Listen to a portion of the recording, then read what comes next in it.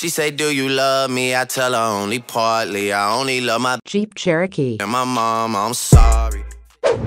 Hola, ¿cómo estás? All right, so as y'all know, the most recent video, I tried to get this Dodge Ram or a BMW or a Volvo. It did not work because I'm a Bidmaster, screwed me over. May or may not have been my fault. So I decided, let's go ahead and take a little bit of the Copart money. Oh, now we got this boat anchor. Ah. This winch is really heavy. He's not exaggerating. Oh guys, I went to Harbor Freight and like I picked this thing up. I went all the way to the back of the store. I went, got to the counter and I realized they literally had them at the end of the counter in the checkout. I looked like an You knew you were idiot. coming. I know.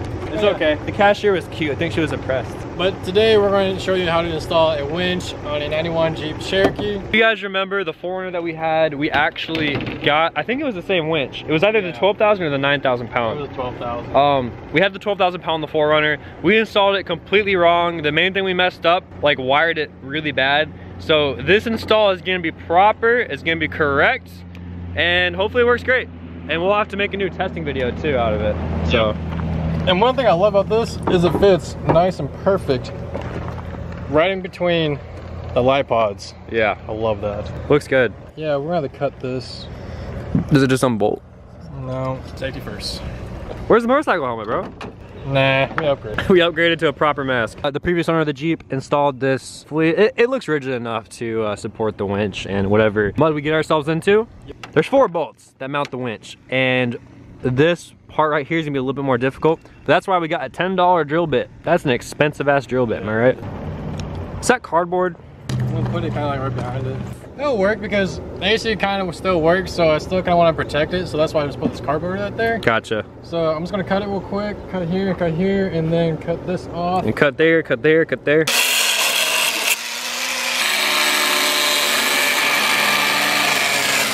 Okay, so we got this part out.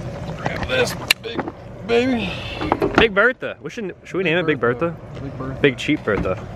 Guys, this winch, I found a coupon for $100 off. With tax, it was about $324. Pretty damn good, honestly.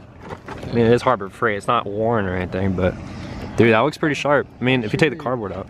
Zach made a good point, guys. Since the hole, as you can see, is kind of hidden within the uh, frame of the winch, we can't really get a Sharpie down there. So we're gonna have to draw a box around that hole and just mark it like that. It's a little bit more complicated, but not that bad.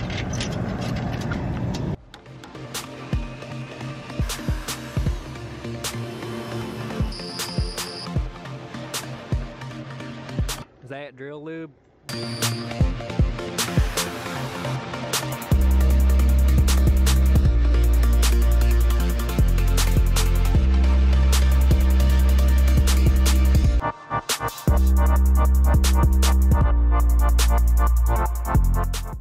We got it all mounted up. It's looking pretty good.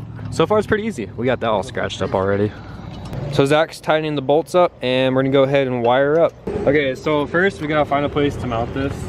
But as you can see, uh, this these two I believe go to the winch. These three go to the winch. So that's all the length we have from the winch to the control box, which kind of sucks. Thanks Harbor Freight. Could do something like that. Yeah. Doesn't look that bad. Could just zip tie it, honestly. So while Zach's working on the mounting issue, I'm gonna go ahead and get the battery ready to go for the winch. All right, guys. So uh, as you can see, Zach did some ghetto insulation here. I didn't do that. You didn't do that? Previous owner did. Previous owner did that. Okay. So it was not Zach for the record. Uh, positive and negative both have two hookups. So we're gonna do the smaller one because this this pretty much fits the contact already on there. So and this I believe is gonna run to the winch. So. So right now we're running ground cable from the battery to the winch. So this, oh by the way, this is gonna be a pain in the ass to hook up because I'm pretty sure it goes on the bottom of the winch. So to mount the control box, and I'm sure we'll get some flame for this, but uh, Zach zip tied the box onto the frame right there. So that's it's pretty okay, I'd say. It's definitely it's definitely sturdy. Right now we're just loosening the winch up so we can get underneath here and get to that negative connector for the battery.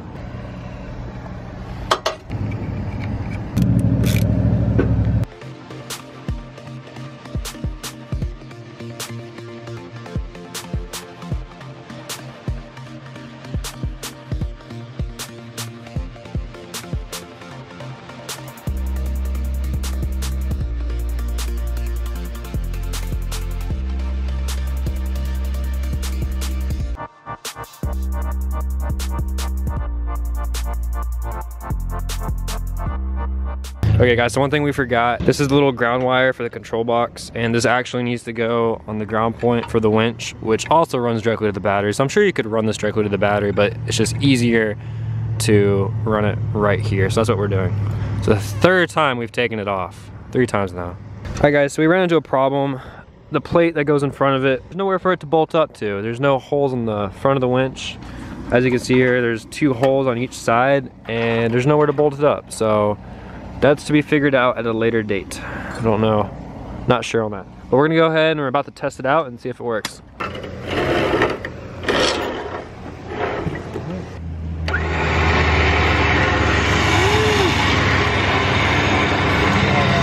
Sweet.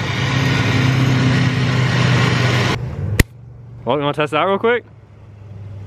I see a couple trees over there. Next episode, guys. Next episode. Zach's gotta go to class, so we will be testing it. Hopefully, are we testing it? When we testing it? This week? Yeah, this week.